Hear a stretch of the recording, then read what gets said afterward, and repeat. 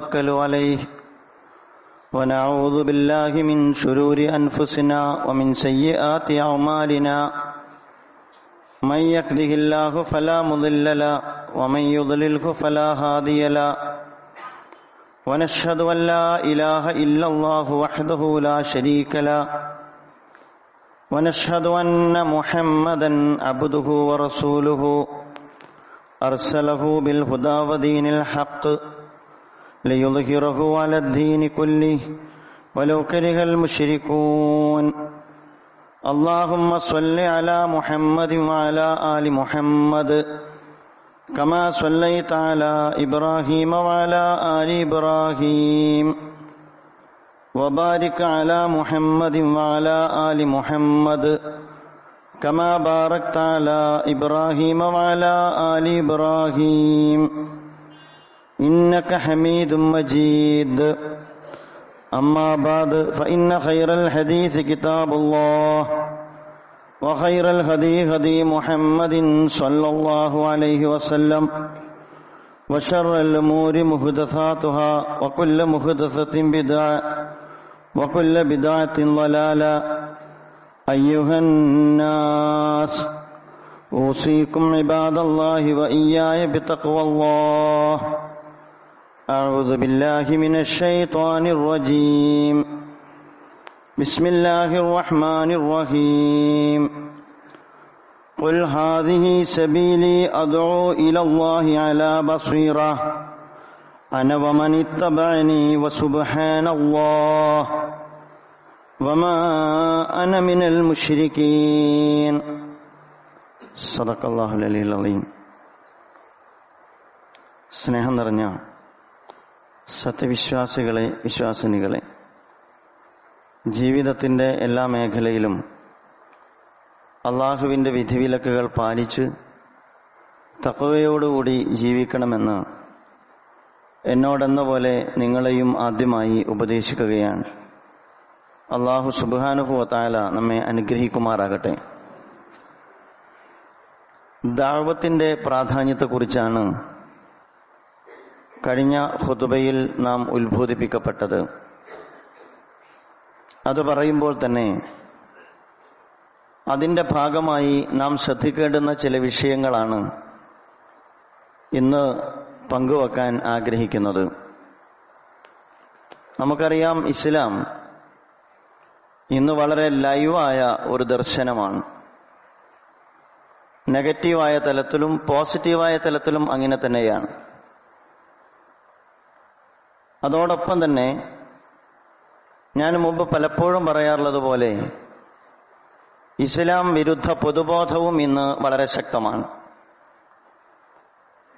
ഇസ്ലാം എന്ന് പറയുമ്പോൾ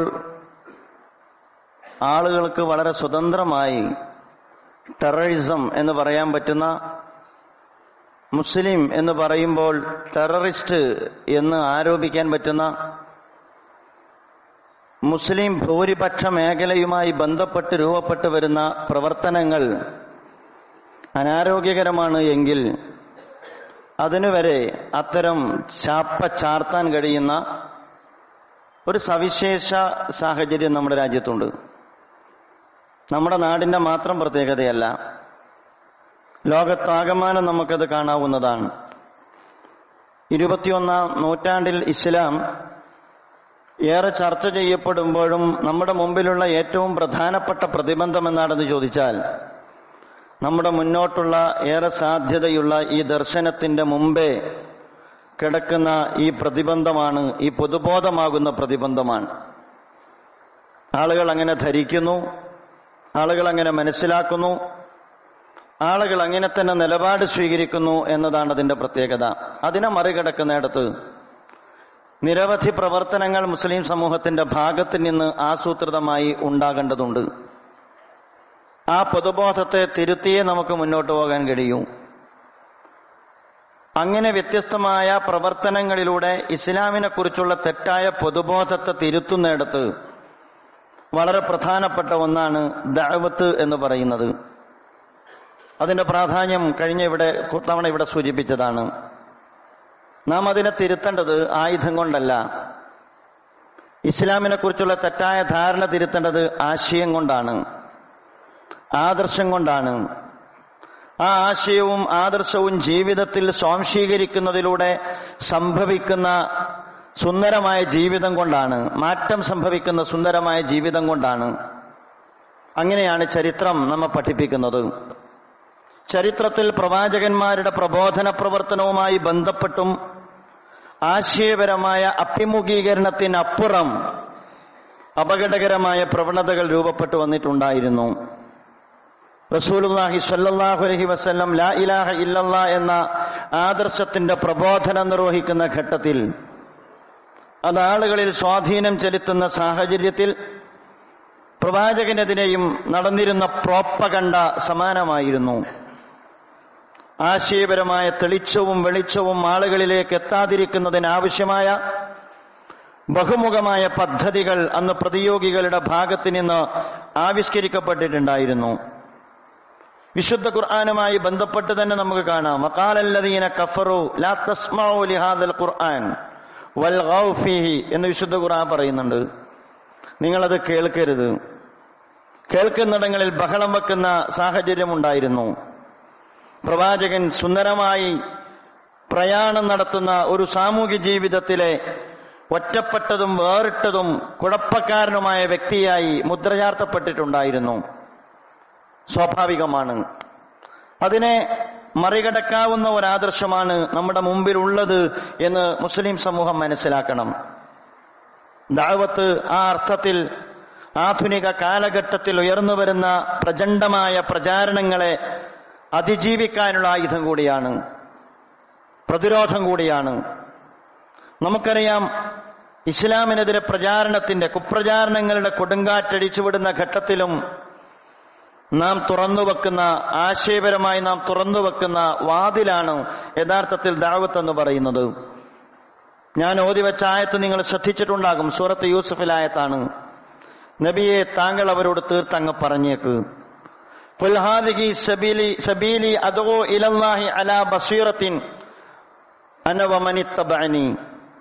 ഞാനും എന്നെ പിൻപറ്റുന്ന ആളുകളും വളരെ ഉൾക്കാഴ്ചയോടുകൂടി നിങ്ങളെ ക്ഷണിക്കുന്നു ഈ ദർശനത്തിലേക്ക്. അന്ധമായല്ല വിവരമില്ലാതെയല്ല. അകന്ന അകമുള്ള അകക്കാമുള്ള ഉള്ളടക്കമുള്ള ഒരു ദർശനത്തെക്കുറിച്ച് ഉൾക്കാഴ്ചയോടുകൂടി ക്ഷണിക്കുന്നു എന്നാണ് പറഞ്ഞത്. വസുബഹാനല്ല അവൻ പരിശുദ്ധനാണ്. അമാനമിനൽ മുഷിരിക്ക് ഞാൻ ഒരിക്കലും ബഹുദൈവ വിശ്വാസികളിൽപ്പെട്ടവനല്ല. ഞാൻ പറയുന്നത് ഈ അറിവോടും ആത്മവിശ്വാസത്തോടും കൂടിയാണ് ഇസ്ലാമിക സമൂഹം ഈ കാലഘട്ടത്തിൽ ജീവിക്കേണ്ടത്. റസൂലുള്ളാഹി സ്വല്ലല്ലാഹു അലൈഹി വസല്ലം അലി ഇബ്നു അബി താലിബ് റളിയല്ലാഹു അൻഹുവിനോട് ഒരു വേള പറഞ്ഞല്ലോ ലഅൻ യഹ്ദിയല്ലാഹു ബിക റജുലൻ വാഹിദൻ ഖൈറുൽ ലക മിൻ ഹുമിരിൻ താങ്കൾ മുഖേന ഒരാൾ അള്ളാഹുവിന്റെ ഹിദായത്തിലേക്ക് വരിക എന്ന് പറഞ്ഞാൽ താങ്കൾക്ക് ചുവന്ന ഒട്ടകം കിട്ടുന്നതിനേക്കാൾ വലിയ സമ്മാനമാണ്. ആ കാലഘട്ടത്തിലെ ഏറ്റവും വലിയ ഗിഫ്റ്റാണ് ചുവന്ന ഒട്ടകം എന്ന് പറയുന്നത്. പറഞ്ഞു വരുന്നത് ആ അർത്ഥത്തിൽ ഈ കാലഘട്ടത്തെ ഈ കാലഘട്ടത്തിന്റെ സങ്കേതങ്ങളും ഈ കാലഘട്ടത്തിന്റെ ശൈലിയും ഈ കാലഘട്ടത്തിലെ ജനാധിപത്യ രീതികളെയും ഉപയോഗിച്ചുകൊണ്ട് ഇസ്ലാമിനെ പ്രതിനിധീകരിക്കാൻ ഇസ്ലാമിക സമൂഹത്തിന് സാധിക്കണം. ശ്രദ്ധിക്കേണ്ടുന്ന ഒരുപാട് കാര്യങ്ങളുണ്ട്. ദാവത്ത് എന്ന് പറയുമ്പോൾ ഭാഷാപരമായ ഒരുപാട് അർത്ഥമുണ്ട്. പ്രാർത്ഥന വിളി ക്ഷണം എന്നു തുടങ്ങിയ ഒരുപാട് അർത്ഥങ്ങളുണ്ട്. ഇസ്ലാമിലെ ദാവത്ത് നടത്തുക എന്ന് പറഞ്ഞാൽ ഒരു ജനവിഭാഗത്തെ മതം ചേർക്കുക എന്നല്ല. ആളുകൾ അങ്ങനെയാണ് പ്രചാരണം നടത്താറുള്ളത്. ക്രിസ്ത്യാനിയെ മുസ്ലിമാക്കുക എന്നല്ല ഞാൻ ബോധപൂർവമാണ് പറയുന്നത്. ഒരു ജനവിഭാഗത്തെ മുസ്ലിമാക്കുക എന്ന് പറയുന്നത്. ഒരു ജനവിഭാഗത്തിന് ഹിദായത്ത് കൊടുക്കുക എന്ന് പറയുന്നത് അള്ളാഹുവാണ് നിർവഹിക്കേണ്ടത്. അതിനനുഗുണമായ പ്രവർത്തനങ്ങൾ നാം നിർവഹിക്കുക എന്നുള്ളതാണ്.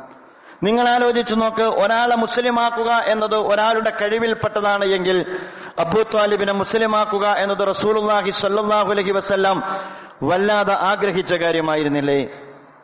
അദ്ദേഹത്തിന്റെ ഇരുകാലിന് ചുവട്ടിലിരുന്നു കൊണ്ട് അള്ളാഹുവിന്റെ പ്രവാചകൻ റസൂലുള്ളാഹി സ്വല്ലല്ലാഹു അലൈഹി വസല്ലം ആഗ്രഹിച്ച് മോഹിച്ച് പ്രാർത്ഥിച്ച് നിരന്തരമായി താല്പര്യപ്പെട്ടതല്ലേ അള്ളാഹുവിന്റെ പ്രവാചകന് അള്ളാഹു കൊടുക്കുന്ന മാർഗനിർദ്ദേശം എന്ന് പറയുന്നത് അത് താങ്കളുടെ ജോലിയല്ല എന്നുള്ളതാണ്. ഹിതായത്തിലാക്കുക എന്നത് അള്ളാഹുവിന്റെ ജോലിയാണ്. പക്ഷേ നമ്മിൽ വന്നു ചേർന്നിരിക്കുന്ന ഈ ദർശനത്തെക്കുറിച്ച് അറിവില്ലാത്ത ഒരു ജനവിഭാഗത്തിന്റെ അറിവുകേടിനെ മറികടക്കുക എന്നത് നമ്മുടെ ധർമ്മമാണ്. നമ്മുടെ ചുറ്റും ജീവിക്കുന്ന ഒരു ജനത അതിനെക്കുറിച്ച് അറിയാത്തവനായിട്ടുണ്ടാകാൻ പാടില്ല. അതുകൊണ്ടാണ് ലവ് ജിഹാദിനെ കുറിച്ച് ചർച്ച വന്നപ്പോൾ നമ്മൾ പറഞ്ഞത് അങ്ങനെ ഇസ്ലാമിലേക്ക് ആൾ വരേണ്ടതില്ല. നോ വേക്കൻസി എന്ന് നമുക്ക് പറയാൻ കഴിയുന്നത് അതുകൊണ്ടാണ്.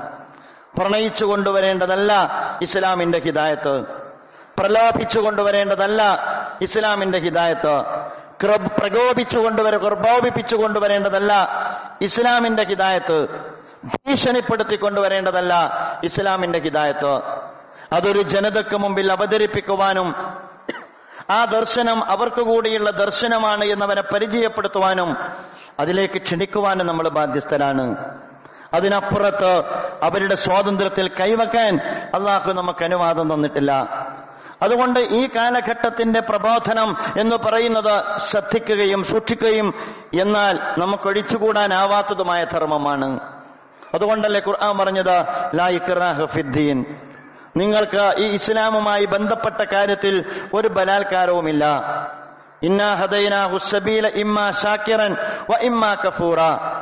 ഞാൻ നിങ്ങളിലേക്ക് ഈ ഹിദായത്ത് എന്ത് എന്ന് ഞാൻ പകർന്നു തന്നിരിക്കുന്നു. നിങ്ങൾക്ക് നന്ദിയുള്ളവരാകാം നിങ്ങൾക്ക് നന്ദി കെട്ടവരാകാം. ഞാൻ പറഞ്ഞു വരുന്നത് ഇസ്ലാം ദാവത്തുമായി ബന്ധപ്പെട്ട് വെച്ചു പുലർത്തുന്ന ഉയർന്ന നിലവാരവും ഉയർന്ന നിലപാടുമാണ് ഇവിടെയുള്ളത്. മനുഷ്യന് മേൽ കെട്ടിവെക്കേണ്ട ദർശനമല്ല ഇസ്ലാം. മനുഷ്യന് മുമ്പിൽ തുറന്നു വെക്കേണ്ട ഹിദായത്താണ് ഇസ്ലാം. അത് തുറന്നു വെക്കാൻ നമ്മൾ ബാധ്യസ്ഥരാണ്. അത് തള്ളാനും കൊള്ളാനുമുള്ള സ്വാതന്ത്ര്യം അള്ളാഹു സുബാനുഭവത്താന അവർക്ക് കൊടുത്തതാണ്. അതുകൊണ്ട് ആധുനിക കാലഘട്ടത്തിൽ ആധുനിക സങ്കേതങ്ങൾ ഉപയോഗിച്ചുകൊണ്ട് ഇസ്ലാമിന്റെ പ്രബോധനം നമ്മൾ നിർവഹിക്കണം. റസൂലുള്ളാഹി സ്വല്ലല്ലാഹു അലൈഹി വസല്ലം നിർവഹിച്ചതുപോലെ ഉദോയില സബീലി റബ്ബിക ബിൽ ഹിക്മത്തി വൽ മൗഇലത്തിൽ ഹസന എന്ന് ഖുർആൻ പറയുന്നുണ്ടല്ലോ. ഹിക്മത്തുണ്ടാകണം മൗഇലത്തുൽ ഹസനത്തുണ്ടാകണം. രൂക്ഷമായ ശൈലിയിലല്ല രൂക്ഷമായ ഭാഷയിലല്ല. നയജാതിരി നഷ്ടപ്പെടുത്തിക്കൊണ്ടല്ല ഒരു ബഹുസ്വര സമൂഹത്തിനകത്ത് ആരോഗ്യകരമായ ആശയവിനിമയത്തിന്റെ ഉപാധികളെ അവലംബിച്ചുകൊണ്ട് സ്വാഭാവികമായി നിർവഹിക്കുവാൻ എന്റെ പ്രിയപ്പെട്ട സുഹൃത്തുക്കളെ നമുക്ക് സാധിക്കണം. നമ്മുടെ പല പ്രൊഡക്റ്റും നമ്മൾ ജനങ്ങളിലേക്ക് എത്തിക്കുന്നില്ലേ? ഒരു ജനതയുടെ ഹിതായത്തിന്റെ ഒരു ജനതയുടെ വിമോചനത്തിന്റെ ഒരു ജനതയുടെ പരലോകമോക്ഷത്തിന്റെ ദർശനം നമ്മുടെ കൈകളിൽ ഉണ്ടായിട്ട് എത്തിക്കാതിരിക്കാൻ ന്യായമില്ല. ഹിക്കമത്തുണ്ടാകണം മൗഇലത്തുണ്ടാകണം. റസൂലുള്ളാഹി സല്ലല്ലാഹു അലൈഹി വസല്ലം അത് പാലിച്ചിട്ടുണ്ട്. ചരിത്രത്തിൽ ഒരുപാട് പ്രബോധനമുണ്ട്. ഇബ്രാഹിം നബി അലൈഹി ഇസ്ലാമയുടെ ഒരു പ്രബോധന രീതിയുണ്ട്. നൂഹ് നബി അലൈഹി സ്വലാത്തു വസ്സലാമയുടെ ഒരു പ്രബോധന രീതിയുണ്ട്. അതുപോലെ തന്നെ ചരിത്രത്തിൽ അതുപോലെയുള്ള ഒരുപാട് പ്രവാചകന്മാരുടെ പ്രബോധന രീതിയുണ്ട്. ഈ കാലഘട്ടത്തിൽ ഈ കാലഘട്ടത്തിന്റെതായ രീതിശാസ്ത്രം രൂപപ്പെടുത്തിയെടുക്കാൻ നമുക്ക് കഴിയണം. അക്ഷൻ. ഏറ്റവും ഉജ്ജ്വലമായ രീതിയിലാണ് നിങ്ങൾ സംവാദം നടത്തേണ്ടത്. എത്ര ഉജ്ജ്വലമായ ശൈലിയാണ് ഖുർആൻ പ്രയോഗിച്ചത്? അക്ഷൻ. അക്ഷൻ എന്ന് പറഞ്ഞാൽ പെർഫെക്ഷൻ എന്നതിന് അർത്ഥം കൊടുത്താൽ മലയാളം ശരിയാ ഇംഗ്ലീഷ് ശരിയാവില്ല. ഏറ്റവും നല്ല എന്ന് പറഞ്ഞാലും ശരിയാവില്ല. അത്രമാത്രം ഉജ്ജ്വലമായ ഒരാശയം അക്ഷൻ ഉൾക്കൊള്ളുന്നുണ്ട്. നിങ്ങൾ സംവദിക്കേണ്ടത് അക്ഷനായ സ്വഭാവത്തോടു കൂടിയായിരിക്കണം. ഇസ്ലാമിന്റെ പ്രബോധന പ്രവർത്തനത്തിൽ തർക്കമില്ല. തർക്കിക്കരുത് റസൂലുള്ളാഹി സ്വല്ലല്ലാഹു അലൈഹി വസല്ലം. ഒരു ഘട്ടത്തിൽ സ്വർഗത്തിലേക്ക് വാഗ്ദാനം നൽകുന്ന സ്വർഗങ്ങളുടെ വാഗ്ദാനം നൽകുന്ന മൂന്ന് സ്വഭാവത്തെക്കുറിച്ച് പറയുന്നുണ്ട്. അതിൽ പറയുന്ന പ്രവാചകന്റെ ഒരു വർത്തമാനം മൻ തറക്കൽ മിറാ തർക്കം ഒഴിവാക്കുന്നതിനെ കുറിച്ചാണ്. തർക്കിച്ചാൽ സത്യമല്ല വിജയിക്കുക ശബ്ദമാണ് വിജയിക്കുക കയ്യൂക്കാണ് വിജയിക്കുക ആൾക്കൂട്ടമാണ് വിജയിക്കുക. തർക്കത്തിൽ സത്യത്തെ കണ്ടെത്താനല്ല തർക്കത്തിൽ അവരനെ പരാജയപ്പെടുത്താനാണ് അവരന്റെ ദർശനത്തെ അറിയാനല്ല ആളുകൾ ആഗ്രഹിക്കുക. ഞാൻ മനസ്സിലാക്കുന്നു തർക്കവും സംവാദവും തമ്മിൽ വ്യത്യാസമുണ്ട് എന്ന് മനസ്സിലാക്കുന്ന വ്യക്തിയാണ് ഞാൻ. അതുകൊണ്ട് സത്യവും അസത്യവും തമ്മിലുള്ള ആശയവിനിമയത്തിൽ ഒരുപാട് ശൈലികൾ നമുക്ക് സ്വീകരിക്കണം. സ്വീകരിക്കാൻ കഴിയണം. സഹോദരന്മാരെ ഇവിടെ നമ്മുടെ ഭാഷ ഭാഷ വളരെ പ്രധാനമാണ്. എങ്ങനെ പറയണം എന്നത് വളരെ പ്രധാനമാണ്. ഒരു പക്ഷേ ശരിയാം വിധം ഉപയോഗിക്കാത്ത ഒരു പ്രയോഗം കൊണ്ട് നാട്ടിനകത്ത് നാട്ടിലെ എരുതിയിൽ എണ്ണയൊഴിക്കാൻ ഒരു വ്യക്തിക്ക് സാധിക്കും.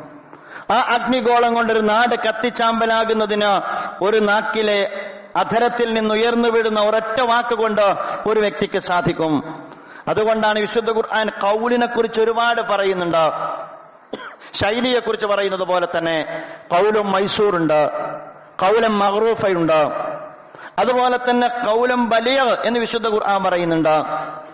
നിങ്ങൾ ആലോചിച്ചു നോക്കും മുനാഫിക്കുകളായ ഒരു ജനവിഭാഗവുമായി ബന്ധപ്പെട്ട പ്രബോധന പ്രവർത്തനത്തെക്കുറിച്ച് പരാമർശിക്കുന്ന വിശുദ്ധ ഖുർആാനിലെ ഒരു ഭാഗത്ത് നമുക്ക് കാണാൻ കഴിയും. സൂറത്തു നിസായിൽ അപകടം വരുമ്പോൾ അള്ളാഹുവിന്റെ പ്രവാചകനോട് അടുക്കുകയും സൈഫ് സുരക്ഷിതമാകുന്ന ഘട്ടത്തിൽ പ്രവാചകന്റെ പ്രവാചകന്റെ ബാധ്യത പേറേണ്ടുന്ന ഘട്ടത്തിൽ പ്രവാചകനിൽ നിന്ന് അകന്നു നിൽക്കുകയും നിഫാക്ക് ജീവിതത്തിന്റെ ഭാഗമായി സ്വീകരിക്കുകയും ചെയ്ത ഒരു ജനതയെക്കുറിച്ച് വിശുദ്ധ ഖുർആൻ പറയുന്നുണ്ട് ഉലായിക്കല്ലദീന യഅലമുല്ലാഹു മാ ഫീ ഖുലൂബിഹിം അൻഹും ഫീ അൻഫുസിഹിം എത്ര ഉജ്ജ്വലമായ വർത്തമാനമാണ്. യഅലമുല്ലാഹു മാ ഫീ ഖുലൂബിഹിം അവരുടെ മനസ്സിലുള്ളത് അള്ളാഹുവിനറിയാം. അവർ നിഫാക്കാണ് കാണിക്കുന്നത്. എന്നും അള്ളാഹുവിനറിയാം. ഫാഗരിലാൻഹു നിങ്ങൾ അവരെ വിട്ടേക്ക് പ്രവാചകരെ. വയലുഹും അവരോട് താങ്കൾ ഉപദേശം കൊടുക്കുക. വകുല്ലഹും ഫി അൻഫുസിഹിം ഖൗലൻ ബലീഗ. ഹൃദയത്തിൽ തട്ടുമാറുള്ള വർത്തമാനം താങ്കൾ അവരോട് പറയണം. മനസ്സിനെ സ്വാധീനിക്കുന്ന വർത്തമാനം. മനസ്സിനെ സ്വാധീനിക്കുന്ന വർത്തമാനം. മനസ്സിനെ പിടിച്ചെടുക്കാൻ കഴിയുന്ന വർത്തമാനം. വളരെ സെൻസിറ്റീവായ ഒരു സാമൂഹ്യ സാഹചര്യത്തിൽ ഒരു ബഹുസ്വര സമൂഹത്തിനകത്ത് ഇസ്ലാമിക സമൂഹം പ്രബോധന പ്രവർത്തനം നിർവഹിക്കുമ്പോൾ ഭാഷ പ്രധാനമാണ് ശൈലി പ്രധാനമാണ് വേഷം ഒരളവോളം പ്രധാനമാണ് ബോഡി ലാംഗ്വേജ് പ്രധാനമാണ് പ്രബോധനം ചെയ്യുന്ന ആശയത്തിന്റെ ഉള്ളടക്കം പ്രധാനമാണ് ഉള്ളടക്കം പ്രധാനമാണ്.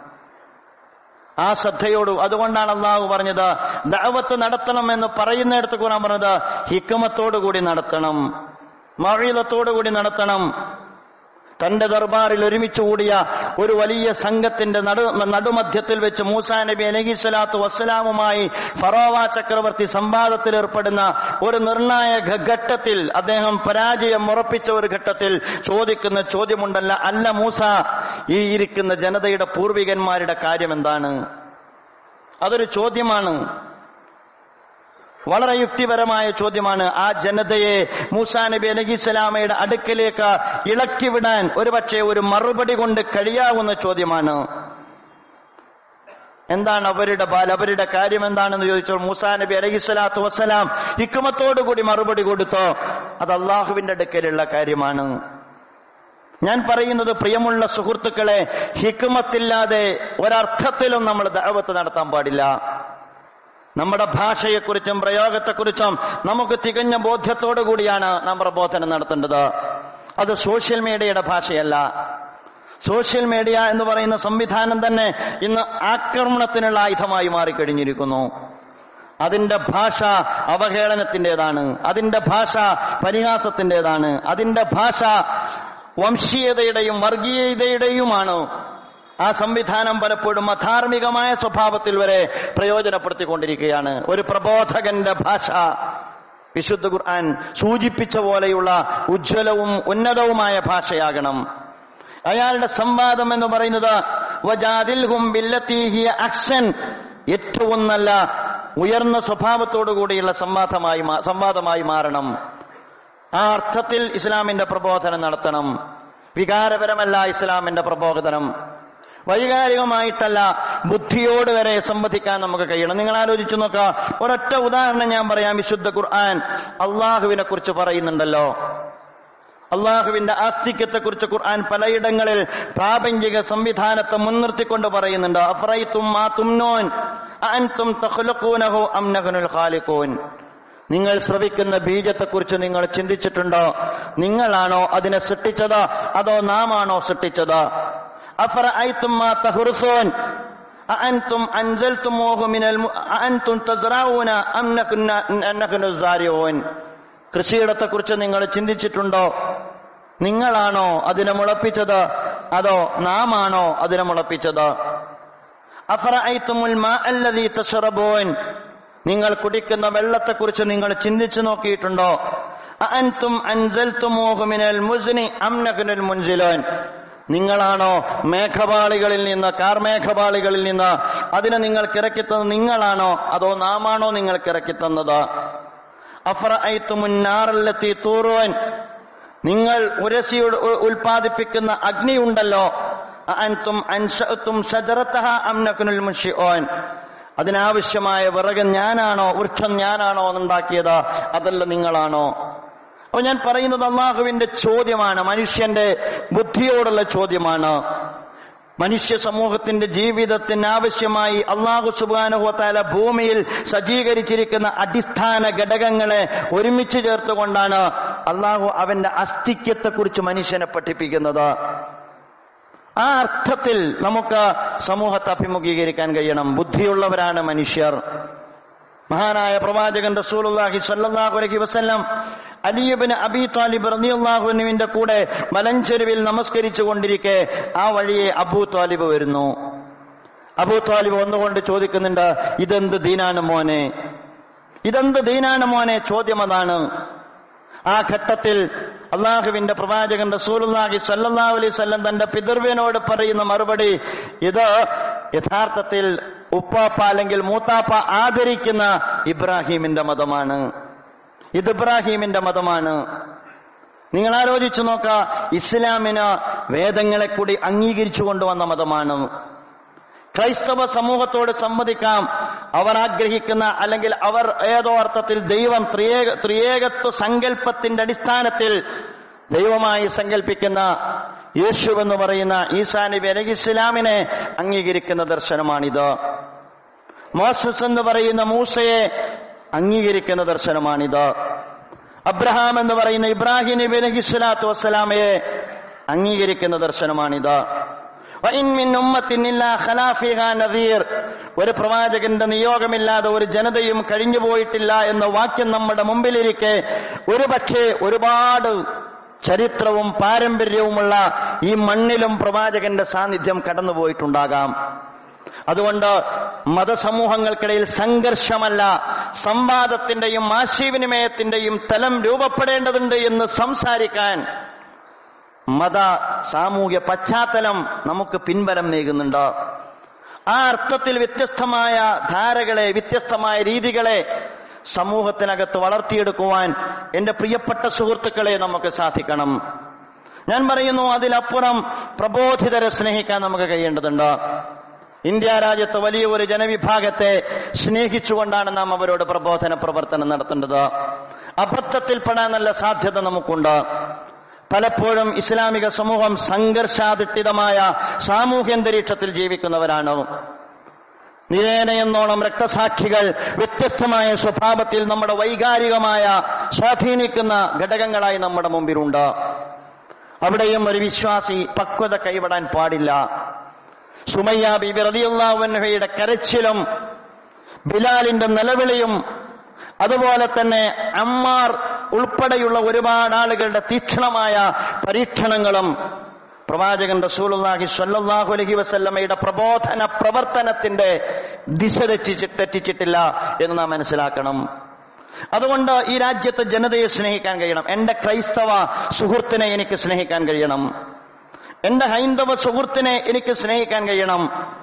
വെറുക്കുന്നവനോട് നിങ്ങൾ എങ്ങനെയാണ് പ്രബോധനം നടത്തുക? വെറുക്കുന്നവനോട് നിങ്ങൾ എങ്ങനെയാണ് ഗുണകാംക്ഷ വെച്ച് പുലർത്തുക? അതുകൊണ്ട് ഫാഷിസത്തിന്റെ ബാരിക്കേഡ് ഒരു ഭാഗത്ത് കാണുന്നുണ്ട് എന്നുള്ളത് കൊണ്ട് രാജ്യത്ത് ഭൂരിഭാഗം വരുന്ന നിഷ്പക്ഷരും അതുപോലെ തന്നെ പ്രത്യേകിച്ച് ഏതെങ്കിലും അർത്ഥത്തിലുള്ള തീവ്ര സമീപനവും വെച്ചു പുലർത്താത്ത സ്വതന്ത്രനായ അള്ളാഹുവിന്റെ അടിയാറുകളും ആദമിന്റെ മക്കളുമായ മനുഷ്യരെ മറുവശത്ത് നിർത്തിയിട്ടല്ല പ്രബോധനം. അവൻ ശത്രുവല്ല അവൻ പ്രബോധിതനാണ്.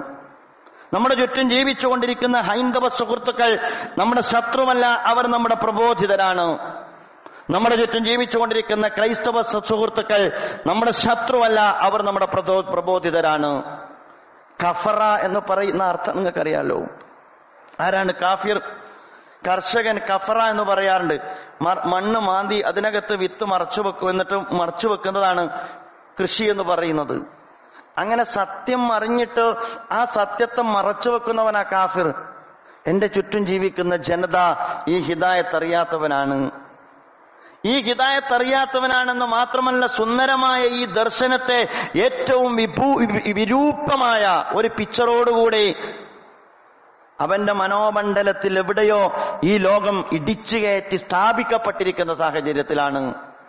അത് മാറ്റാൻ നമുക്ക് അവരോടുള്ള സമീപനം കൊണ്ട് സാധിക്കണം. റസൂലുള്ളാഹി സല്ലല്ലാഹു അലൈഹി വസല്ലം അങ്ങനെയാണ്. യുദ്ധത്തിൽ മരണപ്പെട്ട കുട്ടികളുടെ കാര്യത്തിൽ അള്ളാഹുവിന്റെ പ്രവാചകൻ ദേഷ്യപ്പെട്ടത് അതുകൊണ്ടാണ് കുട്ടികളാണ്. ശത്രുവിന്റെ കുട്ടിയല്ല കുട്ടികളാണ്. സഹോദരന്മാരെ ചുറ്റുപാടിനെ കുറിച്ച് വെറുക്കാനല്ല സ്നേഹിക്കാൻ കലഹിക്കാനല്ല സംവദിക്കാൻ ഇസ്ലാമിക സമൂഹത്തിന് കഴിയണം. പ്രബോധിതന്റെ മുഖത്ത് നോക്കി നിരന്തരമായ ആക്രമണം നടത്തുന്ന പ്രബോധിതന്റെ മുഖത്ത് നോക്കി ചിരിക്കാനും ആകാശത്തേക്ക് നോക്കി അവന് വേണ്ടി പ്രാർത്ഥിക്കാനും അള്ളാഹുവിന്റെ റസൂൽ നമ്മെ പഠിപ്പിച്ചിട്ടുണ്ട്. ത്വായിഫ് നൽകുന്ന പാഠമതാൻ ത്വായിഫ് നൽകുന്ന പാഠമതാൻ ശരീരത്തിലൂടെ വാർന്നൊഴുകുന്ന രക്തവും കൂർത്തുമൂർത്ത കരിങ്കൽ ചീളുകൾ കൊണ്ടുള്ള നിരന്തരമായ പ്രഹരവും ആർത്തട്ടഹസിക്കുകയും കൂവി വിളിക്കുകയും ചെയ്യുന്ന പിന്നിലുള്ള ജനാവലിയും ഒരാളുടെ എല്ലാ മെച്യൂരിറ്റിയെയും ഒരാളുടെ എല്ലാ സംയമനത്തെയും ഭേദിക്കാവുന്ന പ്രകോപനപരമായ അന്തരീക്ഷത്തിലും അള്ളാന്റെ റസൂൽ പ്രാർത്ഥിച്ചു. അള്ളാഹുലി പടച്ചോനെ പുറത്തു കൊടുക്കുവർക്ക് വിവരമില്ലാത്തവരാണ്. വിവരമില്ലാത്ത ജനതയെ ശത്രുപക്ഷത്ത് നിർത്തിയാൽ ആ വിവരക്കേടിന് നമ്മൾ അള്ളാഹുവിനോട് എന്താണ് പറയുക? നമ്മുടെ ധർമ്മം വലുതാണ്. ആ ധർമ്മം സൂക്ഷ്മതയോടുകൂടി നിർവഹിക്കേണ്ടതാണ്. അതുകൊണ്ടാണ് അള്ളാഹുവിന്റെ പ്രവാചകന് ബക്ഷിയോട് ചിരിക്കാൻ മുഖം കൊടുക്കാൻ ഹിന്ദിന് മുഖം കൊടുക്കാൻ അബൂ സുഫിയാന് മുഖം കൊടുക്കാൻ. അള്ളാഹുവിന്റെ റസൂലിന് കഴിഞ്ഞത് അതുകൊണ്ടാണ്. വിശുദ്ധ ഖുർആൻ പറയുന്നുണ്ടല്ലോ ലഖദ് ജാഅക്കും റസൂലും മിൻ അൻഫുസിക്കും അസീസുൻ അലൈഹി മാ അനിത്തും ഹരീസുൻ അലൈക്കും. വിശുദ്ധ ഖുർആൻ പറയുന്നുണ്ട് നിങ്ങളിൽ നിന്നുള്ള പ്രവാചകൻ നിങ്ങളിലേക്ക് വന്നിരിക്കുന്നു. ആ പ്രവാചകന്റെ പ്രത്യേകത നിങ്ങളെ സംബന്ധിച്ചിടത്തോളം നിങ്ങൾ കഷ്ടപ്പെടുന്നത് അദ്ദേഹത്തെ പ്രയാസപ്പെടുത്തും. ഹരീസുൻ അലൈക്കും. നിങ്ങളോട് അടങ്ങാത്ത മുഹബത്തുള്ള താല്പര്യമുള്ള വ്യക്തിയാണ് ആ പ്രവാചകൻ. എന്നിട്ട് വിശുദ്ധ ഖുർആൻ പറയുന്നുണ്ട് ബിൽ മുഅ്മിനീന റഊഫുർ റഹീം. മുഅ്മിനീങ്ങളോട് അല്പം ദയയും കാരുണ്യവും എല്ലാം ഉള്ള വ്യക്തിയാണ് ആ പ്രവാചകൻ. സമൂഹത്തെക്കുറിച്ച് സമൂഹത്തോട് അതീവമായ താല്പര്യമുള്ള പ്രവാചകൻ എന്റെ ജനതയോട് എനിക്ക് ആ താല്പര്യമുണ്ടാകണം. എന്റെ നാടിനോടും എനിക്ക് ആ താല്പര്യമുണ്ടാകണം. അള്ളാഹുവിന്റെ റസൂൽ ഏതാണ്ട് പതിമൂന്ന് കൊല്ലക്കാലത്തെ പ്രബോധന പ്രവർത്തന പ്രബോധന പ്രവർത്തനം നിർവഹിച്ച മക്കവിടുന്ന റസൂലുള്ളാഹി സല്ലാഹു അലഹി വസ്ല്ലം. മക്കയിൽ നിന്ന് പോകുന്നതിന് മുമ്പ് ഏതാണ്ട് ഓരോ വീടും കയറി കയറി ഇറങ്ങി എന്നാണ് പറയുന്നത് ചരിത്രം. കയറി ഇറങ്ങുക മാത്രമല്ല ചേർത്ത് പിടിച്ച് നിറകണ്ണുകളോടുകൂടി ചിലരോട് ചോദിച്ചു പോലും അല്ല ഞാൻ നിങ്ങൾക്ക് ഇത് എത്തിച്ചു തന്നില്ലേ? എന്റെ ബാധ്യത ഞാൻ നിർവഹിച്ചു തന്നില്ലേ? സഹോദരന്മാരെ ആരെയാണ് ചേർത്ത് പിടിക്കുന്നത്? ജനിച്ച മണ്ണിൽ പതിമൂന്ന് കൊല്ലക്കാലം വധത്തിന് വരെ ഗൂഢാലോചന നടത്തിയ ഒരു സാമൂഹ്യ ക്രമത്തിനകത്ത് നിന്നുകൊണ്ട് തന്റെ അനുചരന്മാർ ക്രൂരമായി പീഡിപ്പിക്കപ്പെട്ട മണ്ണിൽ നിന്നുകൊണ്ട് ഒരു പ്രവാചകൻ നിറകണ്ണുകളോടുകൂടി ആ ജനതയോടുള്ള ഗുണകാംക്ഷ പുലർത്തിക്കൊണ്ട് ചോദിക്കുകയാണ് ഞാൻ എന്റെ പണി നിങ്ങൾക്ക് പൂർത്തീകരിച്ചു തന്നില്ലേ? സഹോദരന്മാരെ ഈ ജനതയോട് നമുക്ക് ചോദിക്കാനുള്ള ചോദ്യമാണത് ഈ ജനതയോട് നമുക്ക് പങ്കുവെക്കാനുള്ള വികാരമാണത്. അബൂജാഹലിനോട് വരെ അള്ളാഹിന്റെ റസൂൽ ചോദിച്ചു. അബൂജാഹൽ അയാളെ പേരല്ലല്ലോ. വിവരക്കേടിന്റെ ബാപ്പ എന്ന് ഒരാൾക്ക് പേരിടൂലല്ലോ. അബുൽ ഹക്കം എന്നാണ് അയാളുടെ പേര്. അല്ല അബുൽ ഹക്കം നിനക്ക് ഞാൻ വന്നത് മനസ്സിലായില്ലേ? നിനക്ക് ഞാൻ തന്നത് കിട്ടിയില്ലേ? അബുജാഹിൽ പറഞ്ഞത് മുഹമ്മദെ അതിനല്ല പ്രശ്നം വന്നത് നീയാണ്. കൊണ്ടുവന്നത് നീയാണ് നിന്നോടാണ് എന്റെ വിയോജിപ്പ്. കുടുംബപരമാണ് പ്രശ്നം ഗോത്രപരമാണ് പ്രശ്നം വംശീയതയാണ് പ്രശ്നം. ഇന്നത്തെ വംശീയത അന്നത്തെയും വംശീയതയാണ്. ഫറോവയുടെയും പ്രശ്നം വംശീയതയാണ്. സഹോദരന്മാരെ നമ്മൾ ആലോചിക്കണം. ആ അർത്ഥത്തിൽ സങ്കീർണമായ സാഹചര്യത്തിലും ഒരു ജനതയെ സ്നേഹിച്ചുകൊണ്ട് നമുക്ക് ആ ജനതയോട് പ്രബോധന പ്രവർത്തനം നിർവഹിക്കാൻ നമുക്ക് സാധിക്കുകയുള്ളൂ. പോകുന്ന പ്രബോധകരോട് പ്രവാചകൻ പറയാറുണ്ടായിരുന്നല്ലോ യസ്സിറു വലാത്തു അസ്സിറു നിങ്ങൾ ആളുകളെ ബുദ്ധിമുട്ടിക്കരുത്. ആളുകൾക്ക് നിങ്ങൾ എളുപ്പമുണ്ടാക്കണം. ആളുകൾക്ക് നിങ്ങൾ എളുപ്പമുണ്ടാക്കണം. ബഷീറോ നിങ്ങൾ സന്തോഷ വാർത്ത അറിയിക്കണം വെറുപ്പിക്കരുത്. ഇസ്ലാമിന്റെ പ്രബോധനം നിർവഹിക്കുക എന്ന് പറയുന്നത് ശ്രമകരമായ ദൗത്യമാണ്. ഒരു ദർശനത്തിന്റെ എല്ലാ പ്രത്യയശാസ്ത്ര ഭാരവും ഒരു ജനതയുടെ മുന്നിൽ കൊന്മേൽ കൊണ്ട് കെട്ടിവെക്കുന്നതിനല്ല യഥാർത്ഥത്തിൽ പ്രബോധനം എന്ന് പറയുന്നത്. അതുകൊണ്ടാണ് ഞാൻ പറഞ്ഞത് വാക്കിന് പങ്കുണ്ട് അതുപോലെ തന്നെ നോട്ടത്തിന് പങ്കുണ്ട് ബോഡി ലാംഗ്വേജിന് പങ്കുണ്ട് ജീവിതത്തിന് പങ്കുണ്ട്. വിറക് ചുമട്ടുകാരിയായ ഒരു സ്ത്രീയോട് അള്ളാഹുവിന്റെ പ്രവാചകൻ സംസാരിച്ചത് നാവ് കൊണ്ടല്ല അള്ളാഹുവിന്റെ പ്രവാചകന്റെ ജീവിതം കൊണ്ടാണ്. വിറക് ചുമട്ടുകാരിക്ക് ഭാഷ റസൂലുള്ളാഹി സല്ലാ അലൈഹി വസല്ലമയുടെ യുക്തിഭദ്രമായ തൗഹീദിനെ കുറിച്ചുള്ള അവതരം കൊണ്ട് അവതരണം കൊണ്ടല്ല തീക്ഷണമായ ജീവിത സാഹചര്യത്തിൽ ഒരു അത്താണി കണ്ടെത്താതെ പ്ര- പ്രയാസപ്പെട്ട ആ സ്ത്രീയുടെ മുമ്പിൽ ഒരു അവതാരം കണക്കെ അള്ളാഹു ആണ് വിട്ട പോലെ കടന്നു വന്ന റസൂലുള്ളാഹി സല്ലാഹു അലൈഹി വസല്ലം അവർക്ക് കൊടുക്കുന്ന ഒരു കുളിരുണ്ട് ഒരാശ്വാസമുണ്ട് ഒരവലംബമുണ്ട് ഒരത്താണിയുണ്ട്. എങ്കിൽ നിങ്ങളുടെ ദർശനം ശരിയാണെന്ന് വിശ്വസിക്കാൻ നമ്മുടെ ജീവിതം നമ്മുടെ ദർശനത്തിന്റെ ശരിതെറ്റ് തീരുമാനിക്കുന്നുണ്ട് എന്ന് നമ്മൾ മറന്നു പോകാൻ പാടില്ല. എന്റെ ജീവിതം എന്റെ ദർശനത്തിന്റെ ശരിതെറ്റ് തീരുമാനിക്കുന്നുണ്ട്. ഞാൻ എന്റെ അയൽക്കാരനെ തെറി പറയുമ്പോൾ എന്റെ ദർശനം കൂടി അവനിൽ നിന്ന് അകലുന്നുണ്ടെന്ന് ഞാൻ മനസ്സിലാക്കണം. ഞാൻ എന്റെ സഹജീവിയെ അവ അവഹേളിക്കുമ്പോൾ അവൻ എന്റെ ദർശനത്തിൽ നിന്നുകൂടിയാണ് അവഹേളന അനുഭവിക്കുന്നത് എന്ന് മനസ്സിലാക്കണം. അതുകൊണ്ട് സഹോദരന്മാരെ സംവാദത്തിന്റെ പ്രബോധനത്തിന്റെ ഇടപെടലിന്റെ ഇടപെടലുകളുടെ ഭാഷയും ശൈലിയും ഒരു പ്രബോധകന്റേതാകാൻ മാറണം. അതുകൊണ്ടല്ലേ അല്ല പറഞ്ഞത്? കൽബ്. പ്രവാചകരെ താങ്കളെങ്ങാനും പരുഷ സ്വഭാവിയായിരുന്നുവെങ്കിൽ താങ്കളുടെ ചുറ്റുമൊന്നുമുള്ള ജനത താങ്കളെ വിട്ട് പിരിഞ്ഞു പോകുമായിരുന്നോ എന്ന് വിശുദ്ധ ഖുർആൻ പറയുന്നുണ്ട്. ഞാൻ അവസാനിപ്പിക്കുകയാണ്. അതുകൊണ്ട് പ്രബോധനം ഞാൻ ഒന്നുകൂടി അടിവരയിട്ട് പറയുന്നു. അനിവാര്യമായും ഒഴിവാക്കാൻ പാടില്ലാത്തതാണ്. പക്ഷേ സസൂക്ഷ്മം ശ്രദ്ധിച്ച് നിർവഹിക്കേണ്ടുന്ന കാര്യമാണ്. അപരിചിതമായ ഒരു സമൂഹത്തിൽ അപരിചിതരായ ഒരു വിഭാഗം അവർക്ക് അപരിചിതമായ ഒരു ദർശനത്തെ അവതരിപ്പിക്കുമ്പോൾ സൂക്ഷ്മത പാലിച്ചിട്ടില്ലെങ്കിൽ അപകടകരമായ പ്രവണതകൾക്ക് അത് തുടക്കം കുറിക്കുമെന്ന് മനസ്സിലാക്കാൻ ഈ സമുദായത്തിന് ശേഷി ഉണ്ടാകണം. നിങ്ങൾ ആലോചിച്ച് നോക്ക് അതുകൊണ്ട് പ്രബോധനത്തിൽ ആദർശം പ്രധാനമാണ്. അതുപോലെ തന്നെ വ്യക്തിത്വം പ്രധാനമാണ്. നയജാതിരി പ്രധാനമാണ്. അവരോടുള്ള സ്നേഹം പ്രധാനമാണ്. അവരോടുള്ള ഗുണകാംക്ഷ പ്രധാനമാണ്. അവരോടുള്ള ഗുണകാംക്ഷ പ്രധാനമാണ്. ഒരു ജനതയെ സ്നേഹിക്കാതെ ഒരു ജനതയോട് ഗുണകാംക്ഷ വെച്ചു പുലർത്താതെ ഒരു ജനതക്കിടയിൽ നയജാതുരിയില്ലാതെ ഒരു ജനതക്കിടയിൽ വേറിട്ട വ്യക്തിത്വമില്ലാതെ ഒരു ജനതക്കിടയിൽ ഞാൻ പ്രബോധനം ചെയ്യുന്ന ആദർശത്തെക്കുറിച്ച് വിവരമില്ലാതെ എന്ത് ധർമ്മമാണ് സുഹൃത്തുക്കളെ നമ്മൾ നിർവഹിക്കുന്നത്? അതുകൊണ്ട് നമുക്ക് കുറുക്കു വഴികളില്ല. നമ്മുടെ വഴിയിൽ ഒരുപാട് പ്രതിബന്ധങ്ങളുണ്ട്. ആധുനിക ശക്തികൾ നമ്മെക്കുറിച്ച് സൃഷ്ടിച്ച ഒരുപാട് പുകമറകളുണ്ട്. ഈ കാലഘട്ടത്തിൽ ആ പുകമറക്ക് പുറത്തു കടന്നേ ഈ ഉമ്മത്തിന് മുന്നോട്ട് പോകാൻ കഴിയൂ. ആ മുന്നോട്ടുള്ള പ്രയാണത്തിൽ സസൂക്ഷ്മം ആസൂത്രിതമായി ഇസ്ലാമിന്റെ സുന്ദരമായ ആശയങ്ങളെ ആകർഷകമായ ആശയങ്ങളെ ജീവകാരുണ്യവും പരവും വിമോചനപരവും അതുപോലെ തന്നെ മാനവികവുമായ ദർശനങ്ങളെ ജീവിതം കൊണ്ടും കർമ്മം കൊണ്ടും പ്രബോധനം കൊണ്ടും പ്രതിനിധീകരിക്കാൻ നമുക്ക് കഴിയേണ്ടതാണ്. സർവോപരി അള്ളാഹുവിന്റെ മുമ്പിൽ മറുപടി പറയണമെന്ന ബോധത്തോടു കൂടി തന്നെ അത് നിർവഹിക്കാൻ കഴിയേണ്ടതാണ്. മഹാനായ പ്രവാചകൻ റസൂലുല്ലാഹി സല്ലല്ലാഹു അലൈഹി വസല്ലമയിലെ പ്രബോധിതനെ പ്രബോധകനെ രൂപപ്പെടുത്തുന്നത് അള്ളാഹിന്റെ മുമ്പിൽ എത്തണമെന്ന ബോധമാണ്. നമ്മയും നയിക്കേണ്ടത് അള്ളാഹിന്റെ മുമ്പിൽ പറയണമെന്ന ബോധമാണ്. സൂലുല്ലാഹി സല്ലല്ലാഹു അലൈഹി വസല്ലം ഒരിക്കൽ അബ്ദുല്ലാഹി ബിൻ മസൂദ് അള്ളാഹുവിനോട് ചോദിക്കുന്നുണ്ട് വിശുദ്ധ ഖുർആൻ ഒന്ന് പാരായണം ചെയ്യാൻ റസൂലിന് ഇറങ്ങിയതാണ് റസൂൽ പറഞ്ഞു കൊടുത്തതാണ്.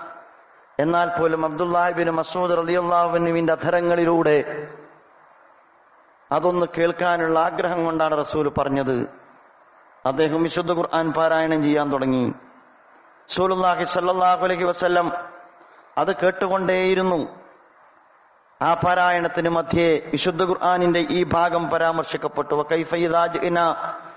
മിൻകുല്ലി ഉമ്മത്തിൻ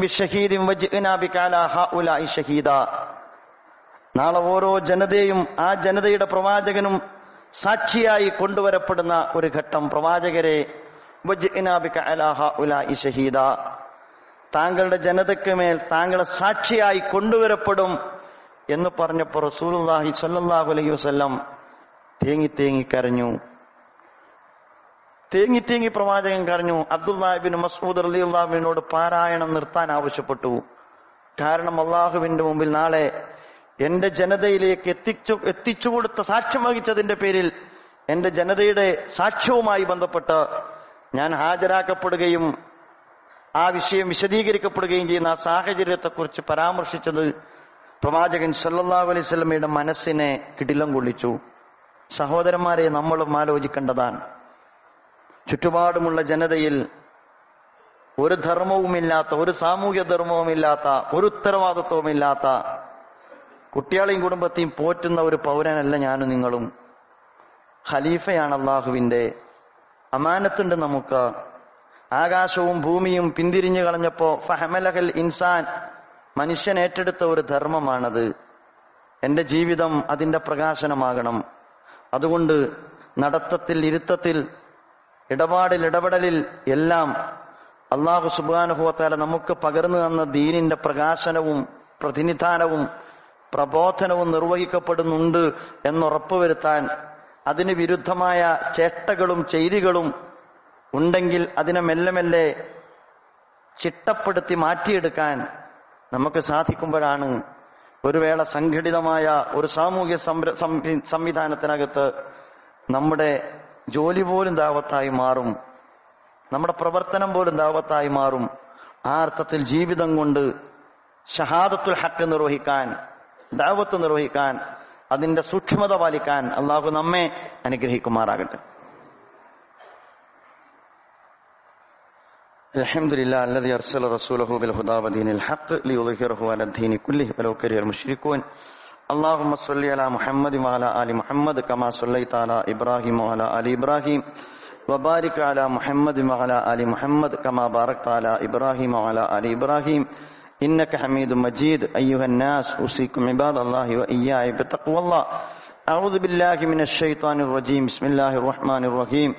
يا أيها الذين آمنوا اتقوا الله حق تقاته ولا تموتن إلا وأنتم مسلمون صدق الله العلي العظيم സ്നേഹം നിറഞ്ഞ സത്യവിശ്വാസികളെ വിശ്വാസിനികളെ ഒരിക്കൽ കൂടി അള്ളാഹുവിനെ സൂക്ഷിച്ച് തക്കവയോടുകൂടി ജീവിക്കണമെന്ന് എന്നോടെന്ന പോലെ നിങ്ങളെയും ഒരിക്കൽ കൂടി ഓർമ്മിപ്പിക്കുകയാണ് അള്ളാഹു നമ്മെ അനുഗ്രഹിക്കുമാറാകട്ടെ മരണത്തെക്കുറിച്ചുള്ള ചിന്ത നമുക്ക് എല്ലാ സന്ദർഭത്തിലും ഉണ്ടാകേണ്ടതാണ് ഇപ്പൊ ദാവത്തിനെ കുറിച്ച് പറയുമ്പോൾ ഞാൻ ഒരു ദായിയാണോ നിങ്ങൾ ഓരോരുത്തർ ആലോചിച്ച് നോക്ക്.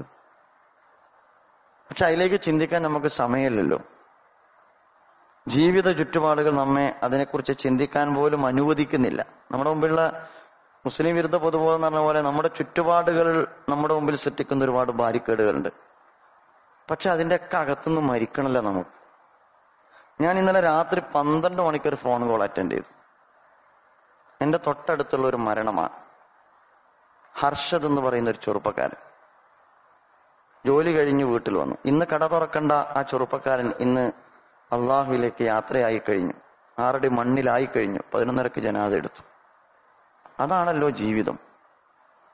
ഇന്നലെ നിങ്ങളിട്ട കടയുടെ ഷട്ടർ ഇന്ന് നിങ്ങൾ തുറക്കുന്നു. ആരാ നമുക്ക് ഉറപ്പെന്ന്? എവിടെയൊക്കെ നമ്മൾ മാറ്റിവെക്കുന്നത്? ആരോഗ്യവാനായ ഒരു ചെറുപ്പക്കാരൻ ഭാര്യയും മൂന്ന് കുട്ടികളുള്ള ചെറുപ്പക്കാരൻ വീട്ടിൽ വന്ന് വാർത്തയൊക്കെ കണ്ട് ഭക്ഷണം കഴിച്ച് ഉറങ്ങുന്നതിന് മുമ്പ് ഏതാനും നിമിഷങ്ങൾക്കകം അള്ളാഹുവിലേക്ക് യാത്രയാവാം പ്രത്യേകിച്ച് കാരണമൊന്നുമില്ല. പ്രായില്ല തിരക്കില്ല. അപ്പൊ നമ്മൾ മനസ്സിലാക്കേണ്ടത് നമുക്ക് ഏത് സമയവും യാത്ര തിരിക്കണം. അള്ളാഹു സുബാനുഭവത്താല എന്റെ പ്രിയ സുഹൃത്തിന് മാഫറത്തും മറഹമത്തും നൽകി അനുഗ്രഹിക്കുമാറാകട്ടെ. ആ കുടുംബത്തിന് മനക്കരുത്തും ക്ഷമയും അള്ളാഹു പ്രദാനം ചെയ്യുമാറാകട്ടെ. അപ്പൊ നമ്മളൊക്കെ മനസ്സിലാക്കേണ്ട കാര്യം മരിക്കണം എന്നോർത്തുകൊണ്ട് ജീവിതത്തെ ധീരമായി ചിട്ടപ്പെടുത്താൻ നമ്മൾ സന്നദ്ധമാകണം. അള്ളാഹു നമ്മെ അനുഗ്രഹിക്കുമാറാകട്ടെ. നാഥ ഞങ്ങളെ നീ അനുഗ്രഹിക്കണേ തമ്പുരാനെ. പടച്ചവനെ ഞങ്ങൾ പലരും രോഗികളാണ്. അത്തരം അനുഭവങ്ങളും ധാരാളമുണ്ട്. ആ അനുഭവങ്ങളിൽ നിന്നാണ് നിങ്ങളും ഞാനൊക്കെ വരുന്നത്. ഓടുന്നതിനിടയിൽ പെട്ടെന്ന് വേദന വന്നു ഹോസ്പിറ്റലൈസ് ചെയ്തു ഐ സിയുലാണ് ഇങ്ങനെ ഒരുപാട് ആളുകൾ നാഥാവുണ്ട്. പടച്ചവനെ ഞങ്ങളിലെ രോഗികൾക്ക് നീ ആശ്വാസം കൊടുക്കണേ തമ്പുരാനെ. പൂർണമായ ശിഫ നൽകണേ തമ്പുരാനെ. പടച്ചവനെ ഞങ്ങളുടെ മാതാപിതാക്കളെ നീ അനുഗ്രഹിക്കണേ റബ്ബേ. ഞങ്ങളുടെ മക്കളെ നീ അനുഗ്രഹിക്കണേ റബ്ബേ. ഞങ്ങളിലെ യുവാക്കളെ നീ അനുഗ്രഹിക്കണേ റബ്ബേ. ഈ ഉമ്മത്തിനെ നീ അനുഗ്രഹിക്കണേ തമ്പുരാനെ. പടച്ചവനെ സങ്കീർണമായ സാമൂഹ്യ സാഹചര്യത്തിൽ ഈ സമുദായത്തെ ഇജ്ജത്തോടുകൂടി നയിക്കാനുള്ള വിവേകം ഈ ഉമ്മത്തിന്റെ നേതൃത്വത്തിന് നീ പ്രദാനം ചെയ്യണേ തമ്പുരാനെ. പടച്ചവനെ പരസ്പരം ദുർബലപ്പെടുത്തുകയും പരസ്പരം പരാജയപ്പെടുത്തുകയും ചെയ്യുന്നതിന് പകരം ദിശ നിർണയിച്ച് പ്രതിയോഗികളെ മനസ്സിലാക്കി കൃത്യമായ ചിട്ടയോടെ ആദർശത്തിന്റെ അടിസ്ഥാനത്തിൽ ഐക്യത്തോടെ ഒരുമയോടെ ഈ ഉമ്മത്തിനെ നയിക്കാനുള്ള വിവേകം ഉമ്മത്തിന്റെ നേതൃത്വത്തിന് നീ പ്രദാനം ചെയ്യണേ തമ്പുരാനെ اللهم اغفر للمؤمنين والمؤمنات والمسلمين والمسلمات والأحياء منهم والأموات إنك مجيب الدعوات يا قاضي الحاجات اللهم أعز الإسلام والمسلمين وأذل الشرك والمشركين اللهم أجرنا من النار اللهم أجرنا من النار اللهم أجرنا من النار ربنا تقبل منا إنك أنت السميع العليم وتب علينا إنك أنت التواب الرحيم واغفر لنا يا غافر المذنبين آمين برحمتك يا أرحم الراحمين.